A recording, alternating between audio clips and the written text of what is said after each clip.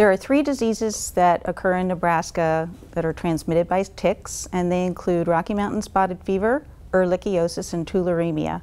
Rocky Mountain spotted fever is relatively rare. People will exhibit headache and fever, sometimes a rash.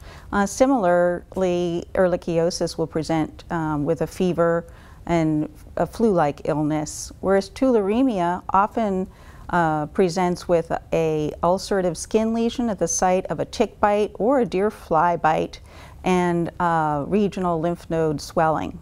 So there are only two kinds of ticks in Nebraska that transmit disease. Uh, the dog tick, Dermacentor, will transmit uh, Rocky Mountain spotted fever or tularemia.